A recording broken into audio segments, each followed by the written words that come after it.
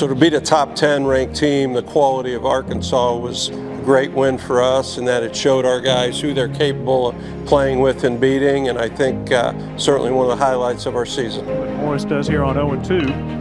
Line fair pass first. Mason Hall around third. He will score. Stewart around third. He will score.